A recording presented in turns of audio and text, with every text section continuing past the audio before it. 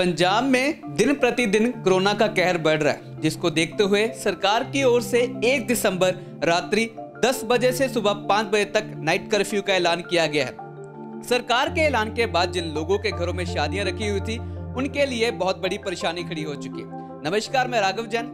Cover story में बात करेंगे नाइट कर्फ्यू की वजह से शादियों में हो रही दिक्कतों की। जी हाँ जिन लोगों ने रात के समय शादियों का प्रोग्राम तय किया था, वह नाइट कर्फ्यू के ऐलान के बाद दिन में शादियाँ करना चाह रहे मगर पहले से ही कहे दिन की बुकिंग थी कई कईयों की। इसके चलते 1 दिसंबर से 16 दिसंबर तक जिलों में करीब 300 शादियों में से 150 से अधिक शादियों की तारीख या तो बदल दी गई है, या फिर समय में परिवर्तन किया जा रहा है। जिनके घर में शादी है, वह अपने सभी रिश्तेदारों को निमंत्रण भेजे जा चुके हैं। सब कुछ फिक्स हो चुका है, मगर अब सरकार के नाइट कर्फ्यू के फैसले के कारण बहुत बड़ी परेशानी में फंस गए हैं। उन्होंने कहा कि वहाँ होटल संचालक के साथ बात हुई कि रात की जगह प्रोग्राम दिन में दे, मगर दिन में होटल पहले से ही बुक हो चुके उन्होंने कहा, अब वह कुछ भी निर्णय नहीं ले पा रहे अब वह क्या करे कुछ समझ में नहीं आ रहा। व्यापार पर पड़ेगा इसका जी हाँ होटल संचालकों ने कहा कि काफ़ी समय से लॉकडाउन के बाद व्यापार की स्थिति कुछ सामान्य दिखी थी,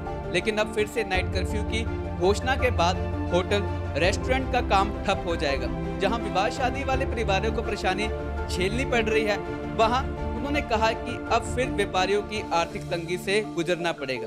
जी हाँ ग्रामीण इलाकों में थाना प्रभारी संभालेंगे कमान जी हाँ आपको बता दें कि कोरोना महामारी के बढ़ते मामलों को देखते हुए सरकार की ओर से नाइट कर्फ्यू की घोषणा के बाद सिटी को छह सेक्टर में तो कैंट को दो सेक्टरों में बांटकर पुलिस अधिकारियों की तैनाती की गई है। इसके अलावा ग्रामीण इलाकों में थाना प्रभारियों को काम कमान दी गई है।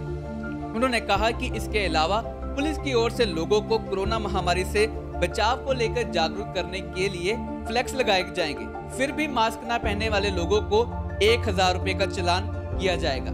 जिन परिवारों को दूसरे जिलों में जाकर शादी करनी है, उन्हें ज़्यादा परेशानी होगी।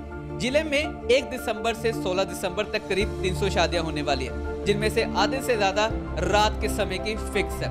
अब नाइट कर्फ्यू की घोषणा के बाद लोगों को इनका शेड्यूल बदलना होगा, जिसके चलते डेढ़ सौ से अधिक शादी या तो दिन के समय होगी या परिवार की ओर से इसकी तारीख बदल दी जाएगी। और बहुतों ने शायद बदल भी दी होगी।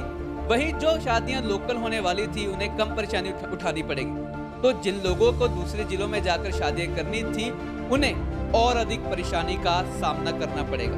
और बड़ी बात यहाँ पर यह भी है कि जिन लोगों ने घोड़ों की बुकिंग कराई हुई थी, उनका कहना है कि नाइट के समय में तकरीबन 40-50 बुकिंग थी। लेकिन जैसे ही सरकार ने नाइट कर्फ्यू घोषणा की, तब लोगों ने कैंसिल कर दिया। कि लोगों ने सोचा कि दिन के समय में ज़्यादा कार को प्रेफर किया। और बहुत सारी जो कहे कि कार जा चुके हैं तो व्हाट्सअप जी हाँ जो आधुनिक युग है तो उसकी जगह व्हाट्सअप की जो मदद ली जा रही है कि अब कार तो जा चुके हैं, अब लोगों को बताना है कि भैया, हम रात को नहीं, दिन को करें। या फिर शादी का समय टाल दिया गया है, या फिर जो भी बदलाव है, वो व्हाट्सएप की मदद से किए जाएँगे। परिवार वालों को बहुत ज़्यादा दिक्कत होगी, क्योंकि सब कुछ फिक्स है। हम बात करें, आजकल जो वेडिंग प्लानर्स है, उनको बहुत ज़्यादा परेशानियों का सामना करना पड़ेगा, क्योंकि जो सामान फिक्स कर दिया जाता है, या बहुत सारी चीज़ें। लोगों का सरकार से ये कहना है कि अगर आप इस चीज़ के बारे में विचार कर रहे थे तो आपको पहले से ही कहे तो लोगों को सतर्क कर देना चाहिए था कि आप अभी भी नाइट शादियों का प्लान ना करें दूर दूर तक, क्योंकि कोरोना जो है, वो अपना विकराल रूप कभी भी ले सकता है। और दूसरी लहर ने दस्तक दे दी है। दिल्ली की बात करें, केरला की बात करें, हरियाणा की बात करें, हिमाचल की बात करें तो यहाँ पर स्कूल भी बंद कर दिए गए हैं, कॉलेजेस बंद कर दिए। और भी कहे तो शादी में लोग भी कम कर दिए गए। यहाँ पंजाब में अभी तक इस चीज़ का ऐलान नहीं हुआ कि यहाँ पर इतने लोगों की तादाद आएगी। जबकि दिल्ली में कह दिया गया है कि यहाँ पर बस 50 से ज़्यादा लोग आपकी शादी में नहीं आएँगे। पंजाब में आज से कहीं रेस्टोरेंट भी रात को जल्दी बंद हो जाएँगे, होटल भी बंद हो जाएँगे। और जो मेन बात यह है कि जो शादी वाले घर हैं भाई, दूल्हे का सहरा जो सजना है, उनको बहुत ज़्यादा दिक्कत होगी और दुल्हन का तो दिल दीवाना सबको लगना ही है। तो कवर स्टोरी में आज हमने बात की कि जो शादी में दिखते आएगी नाइट कर्फ्यू की, खबरों के लिए हमारे साथ बने रहे और देखते रहे आज शाम।